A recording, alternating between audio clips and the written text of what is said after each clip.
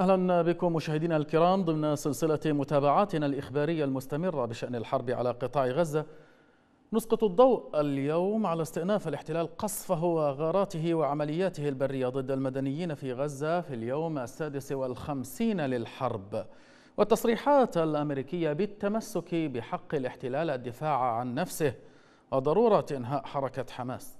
في وقت تخوض المقاومة الفلسطينية اشتباكات ويصر المدنيون الفلسطينيون على رفض قرار الاحتلال بتهجيرهم. مشاهدينا نرحب بضيوفنا عبر سكايب من إسطنبول رئيس مؤتمر فلسطينيي تركيا محمد مشينش. وعبر سكايب من بيروت مدير المركز اللبناني للأبحاث والاستشارات حسان القطب من لندن مدير المنظمة العربية لحقوق الإنسان الدكتور محمد جميل. الحديث مع ضيوفنا سيبدأ بعد فاصل قصير فابقوا معنا.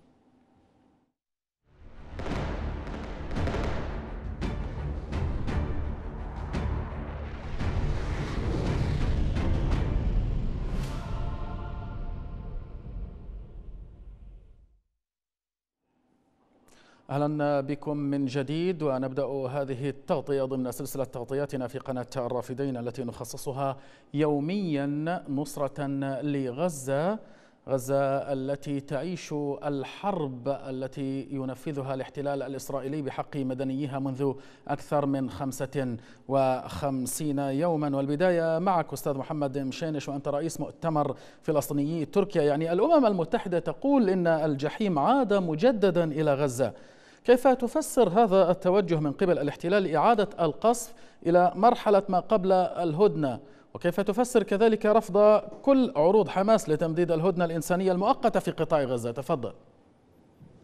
بسم الله الرحمن الرحيم. اليوم العدو يستكمل مسلسله الإجرامي وللأسف بغطاء أمريكي شاهدنا بالأمس كان بلينكن موجود في المنطقة وقد أعطاه الضوء الأخضر لإتمام الجريمة التي بدأها يوم 7 أكتوبر آه، للأسف آه، الصمت الدولي وفشل المنظومة الدولية في لجم الاحتلال آه، هي أبرز ما نشاهده اليوم من استئناف للغارات. إحنا حد الآن أكثر من 106 شهداء منذ بدء الاحتلال لعدوانه. مرة ثانية استئنافه على أهلنا في قطاع غزة.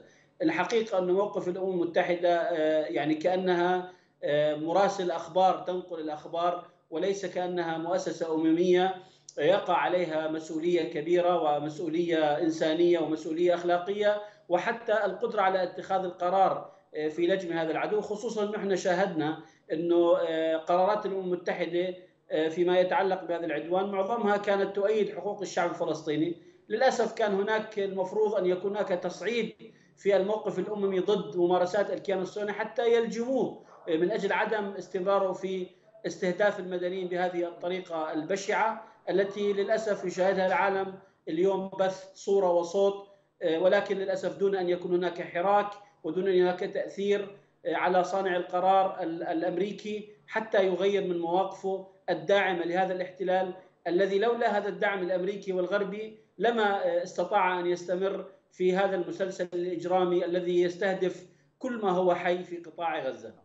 أستاذ حسان فاينانشال تايمز تتحدث عن مسؤول عسكري بالاحتلال يتحدث عن انتهاء 40% من قطاع غزة ماذا يعني السيناريو الأسوأ في غزة؟ ما الأسوأ الذي لم يرتكبه الاحتلال بعد؟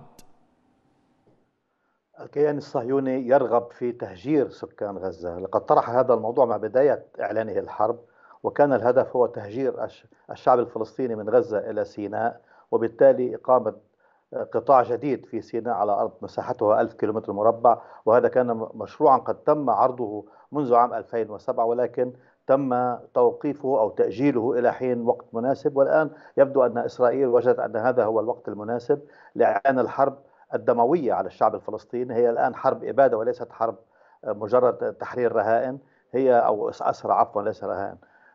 هذه الحرب الآن هي هدفها تدمير قطاع غزة بالكامل تقريبا وتهجير الشعب الفلسطيني من خلال تدمير البنية التحتية التي يمكن من خلالها أن يستمر على الأقل في ممارسة حياة طبيعية. تدمير المستشفيات والمدارس والمؤسسات هدفه إجبار الشعب الفلسطيني على مغادرة غزة إلى أي مكان في العالم وأقرب شيء أقرب مكان هو المكان المصري. لذلك هذه الحرب الدموية الآن هدفها تغيير الواقع الجغرافي في المنطقة وإعطاء إسرائيل مساحة إضافية من أرض فلسطين التاريخية وبالتالي تحميل العالم العربي عبء الشعب الفلسطيني رعاية الشعب الفلسطيني وضبط الشعب الفلسطيني لأن الصراع يجب أن يتوقف عندما يتم وجود الشعب الفلسطيني على أراضي دول عربية مثل مصر والأردن وغيرها. لذلك هذا العدوان الصهيوني الآن المتمادي هو محاولة لتغيير الواقع الجغرافي والديموغرافي في فلسطين المحتلة منذ عام 48 وبالتالي تحميل العالم العربي هذا العبء الفلسطيني باعتبار أن هذه امه واحدة وبالتالي بإمكان الجميع الدول العربية أن تستوعب هذا العدد الكبير من الفلسطينيين وتم تسريب بعض المعلومات اليوم عن هناك عروض أمريكية لبعض الدول العربية وغير العربية بأن تستوعب أعداد من الفلسطينيين مقابل دعم مالي ومساعدات مالية سخية أو إلغاء بعض الديون المتراكمة على بعض الدول وخاصة دولة مصر. لذلك نحن أمام مشهد جديد يتطلب صمودا آه، تعاضدا آه، تماسكا وبالتالي منع تحقيق هذا السيناريو الخطير جدا الذي يستهدف الأمة بكاملها. وبالتالي يصبح موضوع التطبيع مع كيان الصهيوني امرا يجب وقفه بالكامل ويجب أن يدان وأن يتم الوقوف في وجه أي دولة عربية أو غير عربية. ترغب في تطبيع سياساتها مع إسرائيل وحتى تلك الدول المطبعة يجب أن تتوقف عن تطبيعها وأن تسحب السفراء لأن الجريمة المتمادية التي تتم اليوم هي بغطاء دولي وخاصة من الولايات المتحدة الأمريكية وتغاضي أوروبي و مواقف لينة غير مناسبة من الصين وروسيا وبالتالي الدول العربية تقف عاجزة ولا وتعيد حساباتها رغم الجولات المكوكية التي يقوم بها وزراء الخارجية الدول العربية والإسلامية لشرح أبعاد ما يجري في غزة لشرح خطورة ما يجري في غزة ولكن مطلوب مواقف صارمة. تؤكد أن مواجهة هذا الكيان أصبحت مسؤولية أمة بكاملها وليست مسؤولية الشعب الفلسطيني وحده الذي يعاني من هذه الجرائم وهو أعزل شبه أعزل رغم أنه يملك بعض الإمكانيات المحدودة التي لا تغير من المعادلة العسكرية شيئا ولكن وقوف الأمة العربية مع قادتها في مواجهة هذا المشروع الصهيوني لابد أن يترك أثرا وأن يخفف من معاناة شعبنا وأن يمنع هذا هذه الجريمة المتمادية بسؤالي إلى الدكتور محمد جميل مدير المنظمة العربية لحقوق الإنسان بلندن. دكتور محمد يعني فاينانشال تايمز تتحدث عن مسؤول عسكري يقول إن الهجوم العسكري على جنوب غزة سيتم بالتوازي مع العمليات العسكرية في مناطق الشمال أي يقصد شمال القطاع. السؤال هنا أين الضمانات التي قدمها الاحتلال لحماية المدنيين الذين نزحوا إلى الجنوب مثلا؟ آه، الاحتلال سيكمل ما بدأه في السابع من آه، أكتوبر آه، من حرب إبادة بدأها في الشمال سيكملها في الجنوب لا يمكن الارتكان إلى أي ضمانات يقدمها الاحتلال وأي تصريحات أمريكية على لسان وزير خارجية أمريكا منذ اليوم الأول كما تعلمون تحدثوا والدماء تنزف والأطفال يقتلون بالمئات أن آه، إسرائيل تقوم بحملتها بموجب القانون الدولي الإنساني. أصبح القانون الدولي الإنساني بما يقدمون أنه يبيح آه، قتل الأطفال استهداف النساء استهداف المشافي. هذا الضوء الأخضر ليس فقط آه، أمريكي إنما يجد آه، ضوءا أخضر صلبا من دول عربية وإسلامية بالأمس كان هرتسوغ في الإمارات في حضور قمة آه، المناخ. هذا يعني أن إسرائيل مرتاحة جدا للموقف العربي والإسلامي الذي لا يفعل ما يلزم وما يتوجب عليه. من ضغط على الولايات المتحدة آه، الأمريكية لتغير نعم. موقفها الكل يقول أن الولايات المتحدة الأمريكية هي آه، الداعم الرئيس لإسرائيل لكن آه، الذي يدعم هذا الموقف هو التخاذل العربي والإسلامي فوجود هرتسوغ بالأمس آه، أعطى رسالة آه، يعني آه، تكاد تكون أن إسرائيل طليقة اليد وأننا نحن كعرب مسلمون علينا فقط الشجب والاستنكار وأنتم أتموا هذه المهمة التي بدأتموها في نعم. السابع من أكتوبر لو كان هناك موقف جدي لما سمح الرؤساء العرب نعم. آه، والمسلمون بهذه الصورة الشهيرة التي آه، خرجت بالأمس على وسائل الإعلام أنا لا أعلم لا أفهم إذا كان هؤلاء الرؤساء يتابعون ما نتابع نحن أو أنهم في عالم آخر اليوم كانت صورة الطفلة التي تنزف وعلى عيونها ضمادات يعني هذه لو كانت إسرائيلية ونشرت في الإعلام الغربي أعتقد أنها ستحرك جيوشا فما بال العرب والمسلمين نعم. لم يتحرك منهم أحد في في إطار مقاطعة في إطار فتح معبر في إطار إخلاء آه، جرحى في اطار إنساني حتى الجانب الإنساني العرب والأنظمة العربية والأنظمة الإسلامية لم تتحرك بما يلزم وضحت في هذه في اتجاه فتح معبر رفح نعم. باتجاه إخلاء الجرحى باتجاه وضحت هذه الفكرة دكتور محمد تفضل وبالتالي نعم. ماذا؟ على أي حال أرجو أن تبقى معنا دكتور محمد. أتحول إليك بسؤال من جديد أستاذ محمد مشانش ضيفي من إسطنبول. يعني مع هذا الإصرار من قبل الاحتلال على تدمير قطاع غزة في مقابل الرفض الدولي المتصاعد كيف ستغير غزة قواعد اللعبة السياسية العالمية بأكملها أستاذ محمد؟ لا هي ليست كيف ستغير هي غيرت فعلا. الصمود الأسطوري الذي آه، أبداه آه، أهلنا في قطاع غزة رغم الألم الشديد ورغم الدماء التي تسيل ورغم المجازر ورغم عشرات الأطنان آلاف الأطنان التي ألقيت على غزة من القنابل التي تفوق آه، القنابل النووية قدرة. رغم كل هذا إلا أن الشعب لا زال متمسكا بأرضه رغم الإجرام الذي مارسه الكيان في شمال قطاع غزة إلا أنه كل اهالي غزه معظمهم في الشمال لا زالوا في أماكنهم في بيوتهم. اليوم الاحتلال كان قد ألقى منشورات آه، على خان يونس وطلب منهم إنه يروحوا آه، ينزحوا باتجاه رفح باعتبارها منطقة قتال. كان رد الفعل إنه الأهالي أعلنوا بقائهم في مكانهم ولم يغادر إلا عدد بسيط جدا من من أهالي خان يونس حتى يوصلوا هذه الرسالة، هذا هذا الصمود الأسطوري من أبناء شعبنا الفلسطيني في قطاع غزة غير كل المعطيات في العالم. يعني ما عادت آه، قدرة العالم على تمرير مخططات يعني وتحديدا في موضوع التهجير. اليوم كل الوسائل الإعلام تتكلم عن موضوع التهجير. الذي أفشل هذا المخطط حقيقه هو الشعب الفلسطيني. الصمود اللي أبداه أهلنا في قطاع غزة هو الذي أفشل هذا المخطط والذي سيفشله آه، إن شاء الله بشكل أوضح عندما يعني ينجلي غبار هذه المعركة كيف أن هذا الشعب رغم كل هذا الألم إلا أنه صمد في بيوته ولم يغادر، هذا العنوان الأول، العنوان الثاني آه، الحقيقة الذي يفشل هذا الأمر الحراك اللي موجود تبدل المزاج الغربي الذي أيضا هو سببه صمود الشعب الفلسطيني.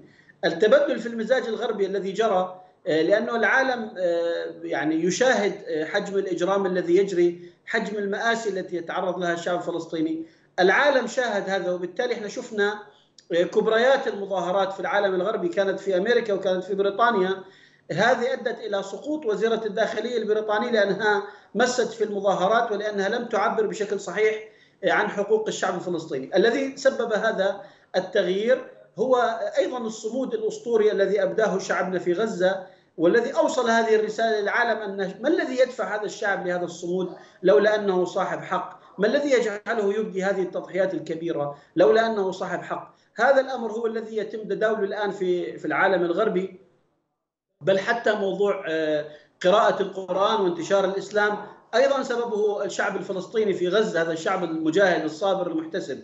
كل هذه العناوين حقيقة غزة آه، استطاعت أن تغير من قواعد اللعبة بكليتها. حتى الأمم المتحدة اليوم العالم كله محرج آه، جدا. العالم الغربي اليوم يعتقد أنه فشل إنسانيا وفشلت كل القوانين الدولية في صيانة القرارات أو القوانين التي تعاهدت عليها هذه الأمم.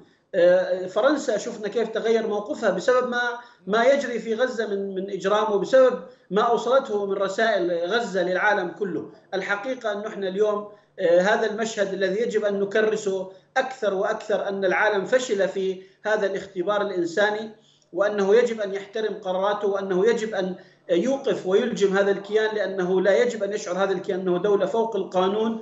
وأن العالم لن يغفر لأي دولة يمكن أن تتساهل مع هذا الكيان ونحن سنشاهد كيف هذا الأمر سينعكس على حتى على الولايات المتحدة. الكل شاهد كيف أنه هناك بدأت تخرج أصوات من داخل الكونغرس في عدم إطلاق يد الكيان الصهيوني في أن يقتل الشعب الفلسطيني. شاهدنا كيف أنه أكثر من 20 من كبار موظفي وزارة الخارجية الأمريكية كيف طلبوا مقابلة بايدن لأن هذا الأمر بدأ يؤثر على صورة أمريكا في العالم وأن هناك شعور بأن هناك انحياز مطلق للكيان الصهيوني، كل هذه العناوين الذي غيرها هي غزة، هي التي غيرت هذه هذه القواعد، صمود شعبنا في غزة، ثباتهم، إصرارهم، مقاومتهم، هذا الذي جعل كل معادلات العالم تتغير. أرجو أن تتفضل بالبقاء معنا أستاذ محمد مشانش من جديد إليك أستاذ حسان. يعني إلى أي مدى اكتشف العالم أن التنميط للمقاومة في غزة كان سلبيا مع كل الجرائم التي ارتكبها الاحتلال الصهيوني ضد المدنيين الأبرياء في قطاع غزة؟ يعني نحن شاهدنا نماذج المختلفة ما بين كيفية تعامل المقاومة مع الأسرى وكيف يتعامل الاحتلال مع المفرج عنهم من القصر الفلسطينيين. تفضل أستاذ حسن الخسارة الإسرائيلية هي خسارة استراتيجية. المشهد الإسرائيلي أو الصهيوني الذي كان يعيش على شعار المظلومية أن الشعب اليهودي تم تعذيبه وقتله وحرقه في الأفران وطرده من أراضيه أيام الدولة النازية في في ألمانيا. هذا المشهد تغير الآن. تبين أن هذا الكيان المغتصب للأرض الفلسطينية المعتدي على الشعب الفلسطيني والشعب العربي يقوم بممارسات عجز النازيون عن ممارستها. من قتل الشعب البريء من, قتل من تدمير القرى والمدن من تهجير الشعب الفلسطيني من قتل الأطفال والنساء والشيوخ من تعذيب الأسرى. مشهد الأسرى الآن هو مشهد متناقض. الأسير لدى الفصائل المقاومة في غزة يخرج معززا مكرما محترما. نعم. والأسير الذي موجود في سجن في إسرائيل يخرج معذبا مهانا. حتى أنه مصاب بإصابات بالغة وبعضهم قد توفي. هناك سبع حالات أو ثمانية حالات وفاة خلال شهرين. إذا مشهد إسرائيل التي كانت تقدم نفسها للعالم بأسره على أنها كيان آه، عاش الظلم والقهر طوال سنوات خلال آه، مطلع القرن العشرين ونهاية القرن التاسع عشر تغيرت كليا. لذلك ما نراه الآن في من مظاهرات في المجتمع الغربي هي دليل تغير المزاج نتيجة فهم الواقع الحقيقي نتيجة أن كل مواطن فلسطيني الآن أصبح مراسل. كان الإعلام في السابق المحكوم من الكيان الصهيوني والمافيا الصهيونية في العالم التي تمسك بزمام الإعلام ترينا ما تريد. بعض الصور بعض المشاهد سواء كانت تلفزيونية أو أو كانت صور ثابتة. الآن كل هاتف لدى أي مواطن فلسطيني في منطقة غزة وفي الضفة حتى لا ننسى الضفة الغربية أيضا وما تعانيه منذ أشهر ما هذه المشاهد العالم بأسره يراها من قتل الأطفال وخاصة الطفلين اللذين قتلا بدم بارد منذ أيام في جنين. هذا المشهد أثر سلبا على إسرائيل كشف حقيقة ثقافتها حقيقة حقيقة التزامها السياسي والديني والقانوني أيضا. لذلك هذا التغير في المزاج سببه هذه المشاهد وقدرة الشعب الفلسطيني كما ذكر زميلي من على الصمود والتحدي والتصدي والهجوم على هذا على جنود هذا الكيان لتصوير ما يقوم به من ارتكابات وتصوير الضحايا الأبرياء الذين يسقطون نتيجة هذه الهجمة العدوانية. اذا إسرائيل خسارتها استراتيجية ولكن يجب الاستثمار فيها أيضا. نعم. منها من من هذه الناحية يجب وقف التطبيع وضحت الفكرة أستاذ حسان يجب استثمار نعم. هذه الأحداث. دكتور محمد الأستاذ حسان يرى بضرورة استثمار هذه الأحداث هذه المشاهد الدامية التي يتعرض لها أهلنا في غزة وتقديمها للرأي العام العالمي. لكن هل توقف الهدن القصيرة الحرب دكتور محمد جميل؟ ودعني أسألك السؤال بصيغة أخرى يعني غياب تطبيق القانون الدولي واحترام حقوق وحماية المدنيين كيف أسهم بالوصول إلى هذه الحصيلة القاسية من عدد الضحايا؟ تفضل.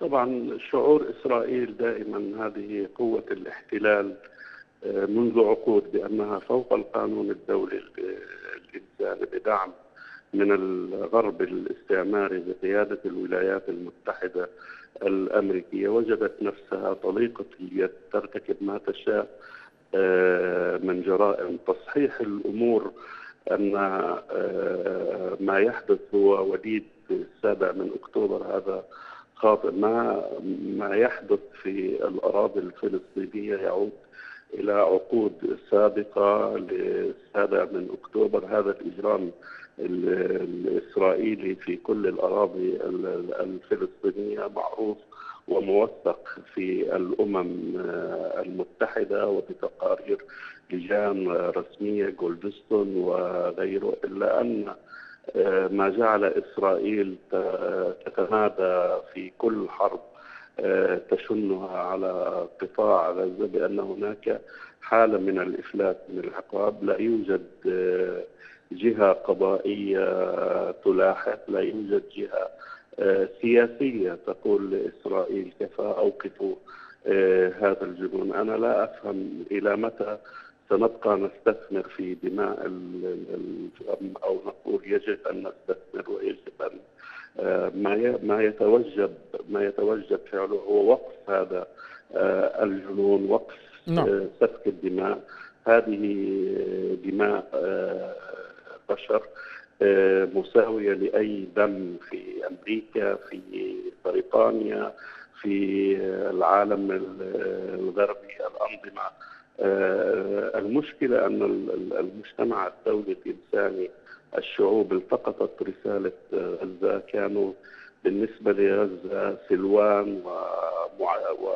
وبلسم لجراحهم عبر هذا التضامن إلا أن للأسف الشديد الأنظمة العربية والتي لم تلتقط نعم. آه، رسالة غزة تجد آه، معبر رفح آه، مشدد الحصار لا لا يفتح إلا بإذن اسرائيلي حتى في في ظل في ظل الهدنه كان يجب أن يستغل معبر رفح لإخلاء الجرحى عشرات فقط الذين آه، خرجوا. كان يجب أن يستغل لإدخال الفرق الطبية آه، لإدخال المعونات الطبية التي دخلت بالحد الأدنى.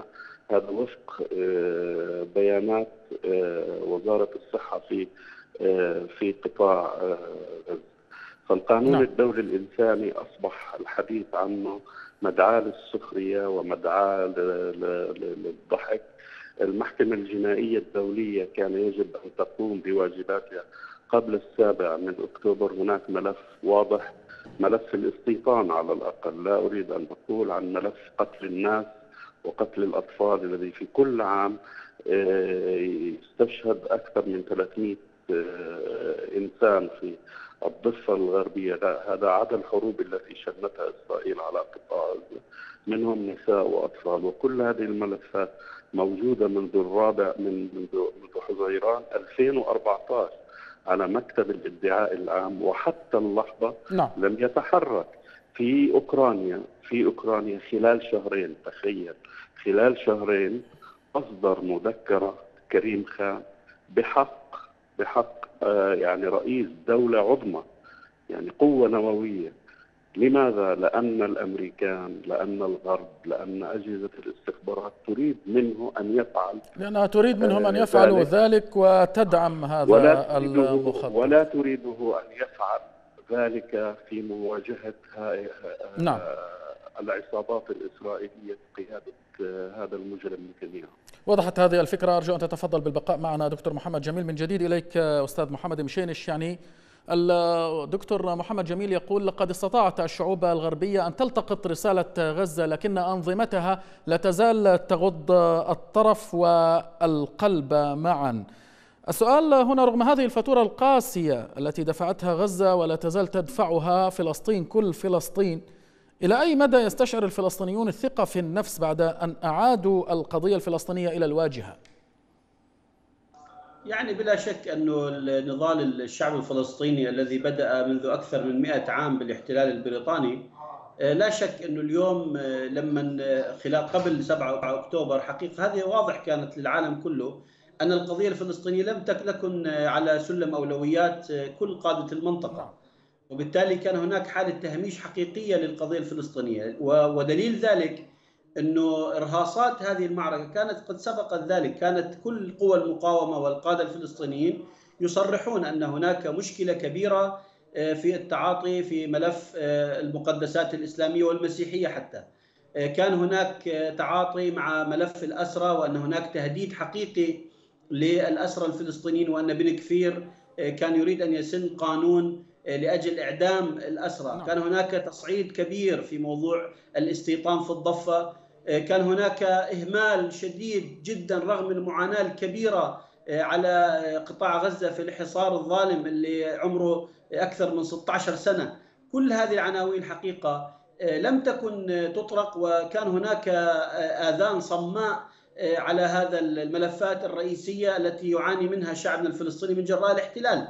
الحقيقة أنه 7 أكتوبر آه، أرسى عناوين جديدة وجعل آه، إعادة القضية الفلسطينية على سلم أولويات آه، كل قادة المنطقة وحتى العالم، يعني اليوم إحنا زيارات المكوكية لبلينكن، زيارات البريطانيين، الفرنسيين، الألمان، الروس، الصينيين، كل كل العالم بدأ يتحرك لأن هناك حدث كبير في المنطقة. للأسف هناك عدد كبير منهم منحازين للكيان الصهيوني ونحن نشاهد هذه الخطابات وعلى رأسها الولايات المتحدة ولكن هناك تغيير حقيقي في المزاج. إحنا شفنا كيف على مستوى الأمم المتحدة لم تنجح الولايات المتحدة في تمرير آه، يعني القرارات التي كانت تريد أن تدين المقاومة. نعم. وتدين حركة حماس تحديدا. 120 دولة وقفت ضد هذا القرار. وبالتالي التغير حقيقي. ربما الفاتورة التي دفعها الشعب الفلسطيني باهظة الثمن دماء أشلاء دمار تهجير آه، وضع صعب حالة إنسانية شديدة.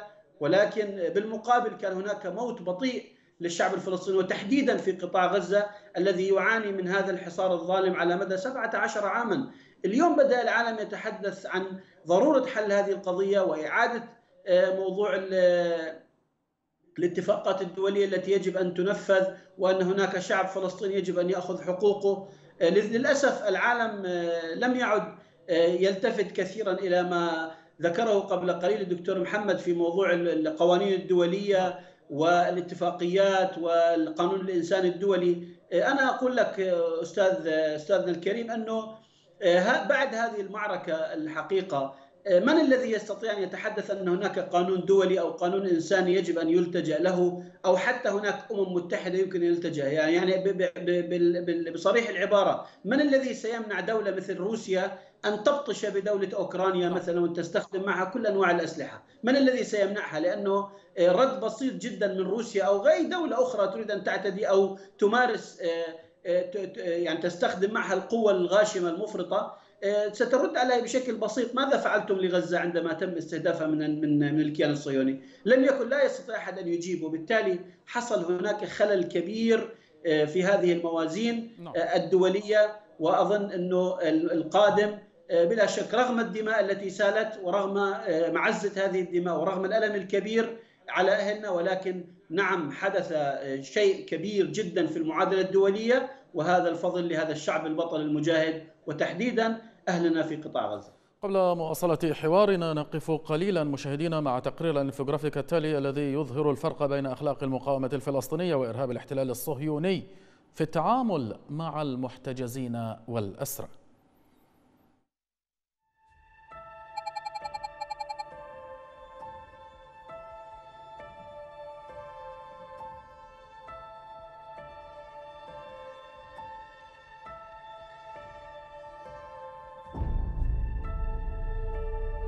ظلش ولا سجن بتقدر تعيشي فيه.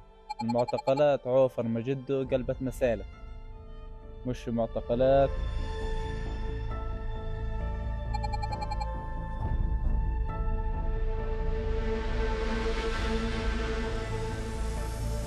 ارفع ارفع كلها ارفع.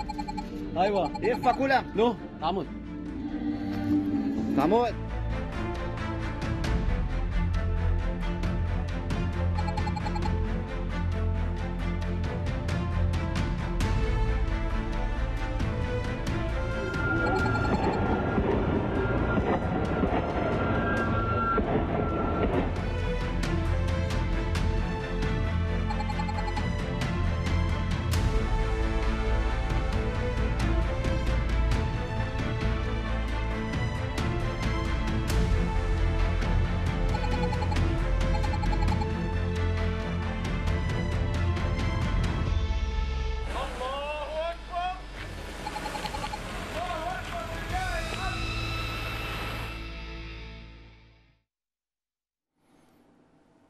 بعد 55 يوما من الحرب الغاشمة المتواصلة والتي تخوضها إسرائيل ضد المدنيين العزل في قطاع غزة تستمر تغطيتنا أعزائنا المشاهدين في كل مكان وأعود بالسؤال إليك الآن أستاذ حسان ماذا عن أمريكا؟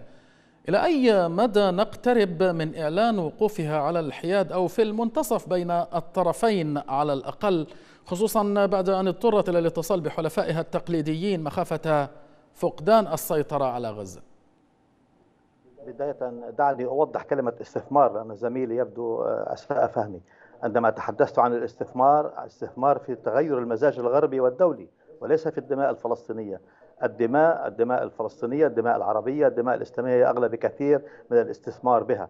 ولكن يجب أن ندرس ماذا يجري في الغرب الآن من مظاهرات من مسيرات من تبدل في هذا المزاج ويجب البناء عليه والمتابعة مع وسائل الإعلام الغربية مع الجمهور الغربي مع الجمعيات مع المؤسسات لترسيخ نعم هذا الفهم ولكن للتوضيح ما تفضل به الأستاذ محمد كان يقصد به الاستثمار بما يخدم القضية الفلسطينية ويعود بالنفع نعم. على أهالي قطاع غزة المدنيين لا الذين يذوقون الويلات لا, لا أن يستثمره أو أن يستغله أحد لمصلحة ما نعم. شخصية مثلا هذا ما نعم. نعم. وصلني من ما تفضل بطرحه تفضل أكمل أستاذ حسان نعم الآن لا يمكن أن نعول على موقف الولايات المتحدة الأمريكية بأنها سوف تغير سياساتها الولايات المتحدة الأمريكية والدول الغربية تعتبر أن أمن إسرائيل هو أولوية بالنسبة إليها ولذلك شاهدنا عقب معركة 7 آه، أكتوبر تشرين أول جاءت الاساطيل الغربية وخاصة الأمريكية إلى نعم. البحر المتوسط والبحر الأحمر وأرسل ألفي جندي أمريكي من القوات الخاصة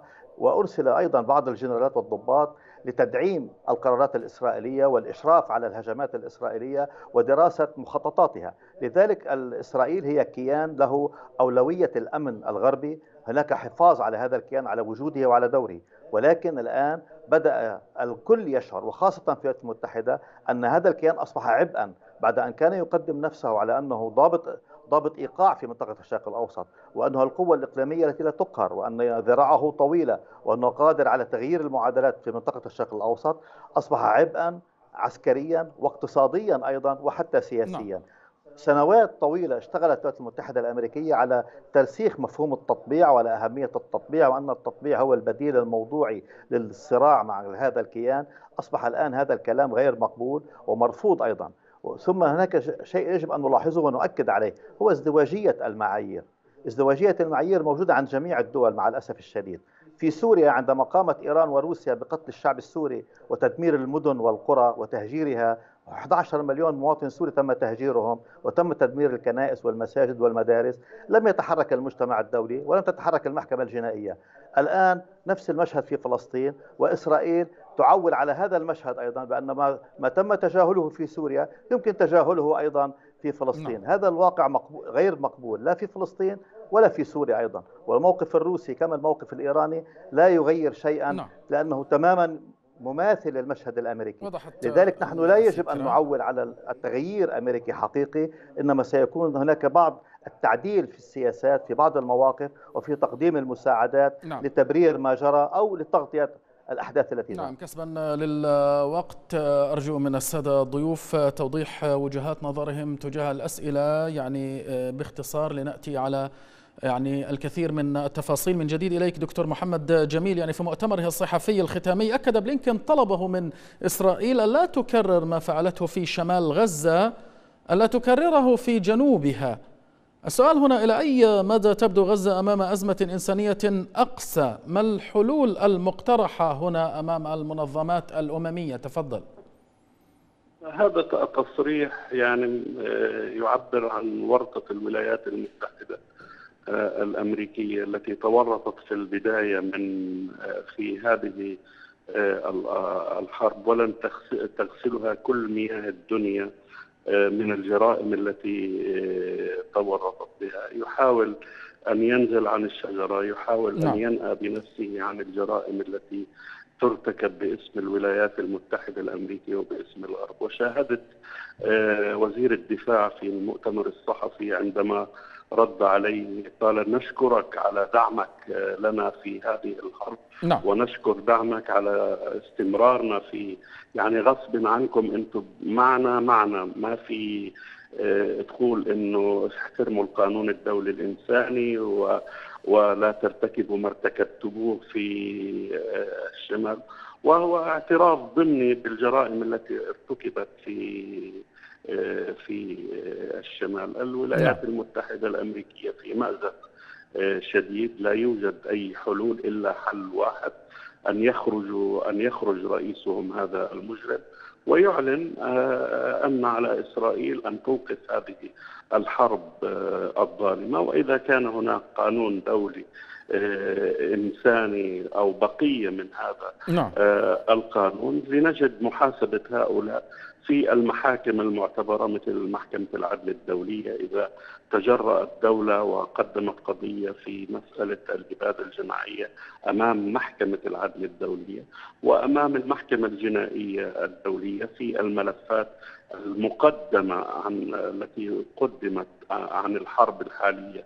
في قطاع غزة لأن البريطانيين والأمريكان وجميع الذين أرسلوا الأسلحة والذين قدموا التصريحات الدعم المعنوي كلهم مشاركون وفاعلون في هذه آه، الحرب.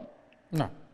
أرجو أن تتفضل بالبقاء معنا دكتور محمد جميل من جديد إليك أستاذ محمد مشينش يعني آه، بعد 55 يوما من الحرب التي يعني لا تزال تواصلها إسرائيل بحق المدنيين العزل في قطاع غزة هناك من يرى أن هذه الحرب أثبتت فشل السلطة الفلسطينية في تمثيل الكل الفلسطيني السؤال هنا هل هناك اتفاق في الشارع اليوم على إيجاد مثلا من يمثل الفلسطينيين أو جبهة جديدة للفلسطينيين في الداخل والخارج؟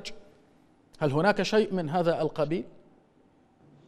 يعني الحقيقة هذا هذا المعضلة التي تعيشها قضية فلسطين بشكل كبير جدا لأن الكل يعلم أن هناك في عام 1993 كان هناك اتفاق أوسلو المشؤوم الذي أدى إلى عمل انشطار طولي في في الفكر الفلسطيني كله أو في في مشروع النضال الفلسطيني وبالتالي خلق لنا أجواء سلبية جدا أدت إلى آه، ما يمكن اعتباره انقسام في التوجهات فهناك مشروع مقاومة مطروح على الطاولة وهو الآن يخوض هذه المعركة ونشاهده كيف يتوسع وينتشر وموجود في كل بقعة من بقاع فلسطين يعني إحنا آه، لا يمكن أن نهمل الجهد الكبير الذي تبذله الضفة الغربية والقدس نعم. آه، في هذه المنازلة الكبرى رغم كل الإجراءات الصعبة التي تمارسها السلطة الفلسطينية على أهلنا في الضفة الغربية ومنعهم من الاشتراك في هذه المقاومة بس إحنا بنشوف مثلا في القدس العمليات لا تتوقف السبب إنه لا يوجد هناك سلطة. بمعنى إنه اليوم الشعب الفلسطيني ذاهب باتجاه تحديد من يمثله. بمعنى إنه اليوم مشروع مشروع التسوية أو مشروع الأوسلو آه، انحسر كثيرا. مش بس انحسر آه، على مستوى الفكري أو الإيديولوجي لأنه لم يعد له قبول بل حتى الاحتلال نفسه رفض هذه الفكرة. واليوم هو ما عاد يتكلم حتى بحقوق الشعب الفلسطيني. ناهيك إنه لا يعترف بهم كبشر. إحنا شفنا كيف إنه آه، وزير الدفاع كان نعت الفلسطينيين بحيوانات بشرية. آه، وهذا الأمر بصراحة يشير بشكل قاطع إلى إنه كيف توجهات هذا الاحتلال؟ من الذي اليوم يقبل آه، إنه إحنا نفوت باتفاقيات سلام مع هذا الاحتلال الذي يقصف ويقتل أبناء شعبنا مش نعم. بس في في غزة حتى في الضفة الغربية. الممثل الذي تجمع عليه اليوم الأمة كلها مش بس الفلسطينيين تجمع عليه الأمة كلها هو آه، هي المقاومة الفلسطينية نعم. وأنا اسمح لي بمثل بسيط جدا أذكره يوم القمة العربية والإسلامية التي جرت آه، آه، في قبل فترة بسيطة تفضل. كان هناك بيان ختامي وبنفس اليوم كان في بيان للقسام لا لا لابو عبيدة الأمة هل هل الأمة كانت تنتظر بيان يصدر من كل زعماء وقادة المنظم الدول العربية والإسلامية اللي هم 59 دولة كان ولا كانوا ينتظروا خطاب آه، المقاومة وخطاب أبو عبيدة نعم. الواضح الأمر إنه كان هناك انتظار من الجميع لخطاب أبو عبيدة الناطق باسم القسام بمعنى أن هناك حالة تأييد شعبي عارم ليس فقط على مستوى فلسطين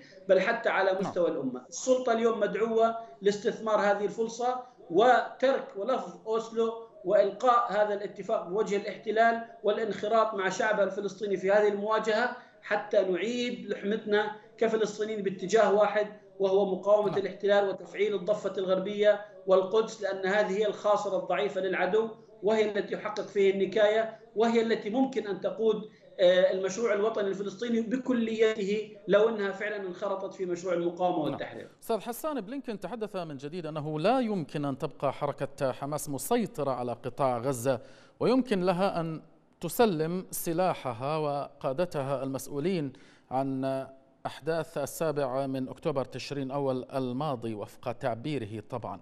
السؤال هنا هل يبدو هذا السيناريو مثلا منطقيا أو قابلا للعرض على أرض الواقع؟ بداية اسمح لي أن أوضح شيئا. نحن نواجه مشروع ديني. مشروع ديني صهيوني يعتمد على نصوص دينية ويقوم على تأسيس بعض المفردات الدينية على أرض الواقع. لذلك أي معاهدة أو تفاهم أو اتفاق أو هدنة مع هذا الكيان إنما هي مؤقتة. عندما يشعر أنه يد أن يده ضعيفة يتوقف ويطلب الهدنة أو أو يخوض معك بعض المفاوضات مثل اتفاق أسلو عندما تم اتفاق أسلو كان هناك ثلاثون ألفا من المستوطنين في الضفة الغربية. الآن تجاوز العدد 800 ألف. إذا هناك عدم التزام بالاتفاقات. عندما تشعر إسرائيل أنها بحاجة لاتفاق تدخل وتفاوض وتوقع وعندما تشعر أن يدها قوية ومطلقة تخرج على هذه نعم. الاتفاقات. مشروع الذي يتحدث عنه بلينكن بأن هناك إدارة يجب أن يكون هناك إدارة جديدة لمنطقة قطاع غزة. هذا صحيح. هناك بحث في هذا الموضوع وهناك مفاوضات تجري الآن في في الدوحة حول هذا الموضوع مقابل إعادة الإعمار. هناك سياسة العصا والجزرة. العصا هي القصف المتمادي تدمير المؤسسات تهجير الشعب الفلسطيني من قطاع غزة والجزر هي إعادة الإعمار. من يعيد إعمار آلاف المساكن التي دمرت؟ من يعيد المواطنين الفلسطينيين إلى بيوتهم سواء في شمال القطاع أو في جنوبه أو في المناطق الأخرى؟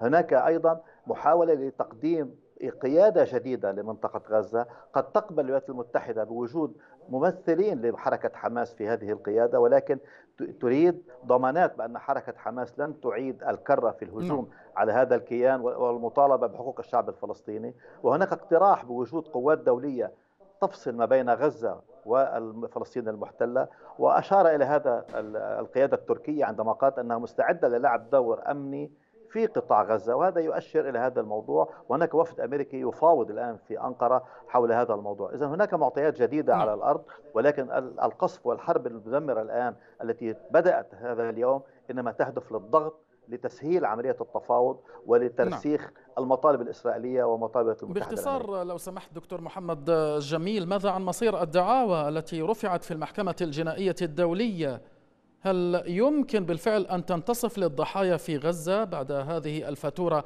غير المسبوقة من الدم التي دفعت ولا تزال تدفع منذ أكثر من 55 يوما؟ يعني دعني أن أقول لك دعني أن أكون متفائلا يعني أنا قلت من 2014 هناك دعاوى عديدة.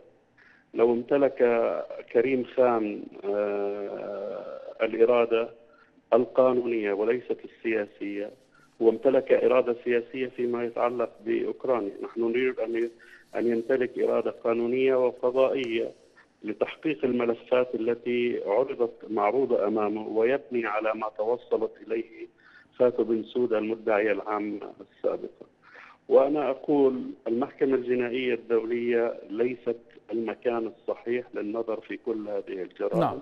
فلسطين تحتاج الآن إلى تأسيس محكمة خاصة أدهوك على ما على غرار المحاكم التي نعم. شكلت في رواندا ويوغوسلافيا السابقة للنظر في هذه الجرائم فلسطين بحاجة الآن إلى دولة شجاعة تذهب إلى محكمة العدل الدولية وتدعي على آه، إسرائيل بتهمة جريمة ارتكاب الإبادة الجماعية. وهذا متاح نعم. لكافة الدول التي هي طرف في اتفاقية منع الإبادة الجماعية والعقاب عليها لعام 1948 أنا لا أفهم لماذا لم تذهب تركيا لماذا لم تذهب الجزائر لماذا لم تذهب الكويت لماذا لم تذهب أندونيسيا. لماذا لم تذهب ماليزيا؟ وهنا أعطيك معلومة بسيطة. آه، فلسطين طبعا هي طرف في اتفاقية آه، منع الإبادة الجماعية والعقاب عليها منذ عام 2014 تحدثنا معهم وطلبنا منهم أن يذهبوا إلى المحكمة محكمة العدل الدولية لملاحقة إسرائيل بجريمة الإبادة الجماعية نعم. كما حدث في قضايا أخرى. لكنهم لم يذهبوا. ومنعوا آخرين من الذهاب إلى نعم. هناك. ماليزيا حاولت الذهاب إلى محكمة العدل الدولية هي لأول مرة أقولها. حاولت الذهاب إلى محكمة العدل الدولية للادعاء على إسرائيل بتهم ارتكاب آه، جريمة الإبادة الجماعية. لكن أبو مازن والسلطة الفلسطينية منعوهم من ذلك.